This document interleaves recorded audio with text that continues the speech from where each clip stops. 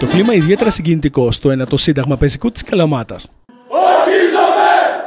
να φυλάτω πίστη στην πατρίδα, Να φυλάτω πίστη στην πατρίδα! υπακοήνει στο Σύνταγμα, Υπακοή στο Σύνταγμα! στους νόμους και τα ψηφίσματα του κράτους, Στους νόμους και τα ψηφίσματα του κράτους! 681 νεοσύλλεκτοι έδωσαν σήμερα ορκοπίστη στην πατρίδα. Η θητεία στο στρατό είναι για όλους πολύ μεγάλη τιμή και υποχρέωση. Είναι η μεγαλύτερη προσφορά στην πατρίδα και στους πανταχού Έλληνες. Υπηρετούμε μια χώρα με μακραίων ιστορία, κοιτίδα του παγκόσμιου πολιτισμού και έναν λαό που έμαθε να ζει ελεύθερος. Να είστε υπερήφανοι για τη δυνατότητα που σας δίνετε να υπερασπίσετε το σημαντικότερο αγαθό του ανθρώπου, την ελευθερία. Ξεχωριστές και οι αναφορές του διοικητή του ενάτου συντάγματο πεζικού.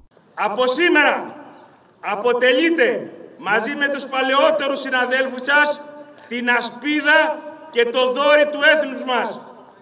Μια ατσάλινη ασπίδα μα και ένα δόρυ εχμηρό έτοιμο να κατακεραμνώσει κάθε επίδοξο επιβουλέα των ιερών και των οσίων μας.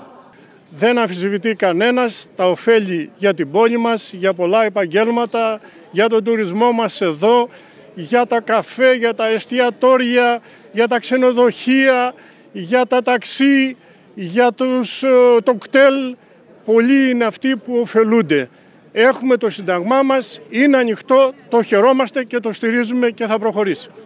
Να δηλώσω ότι η λειτουργία του στρατοπέδου για την ε, Καλαμάτα, για τη Μεσσηνία είναι πολύ σημαντική υπόθεση πέρα από το ότι εξυπηρετεί τα εθνικά συμφέροντα είναι κάτι που βοηθάει και την τοπική κοινωνία και οικονομία.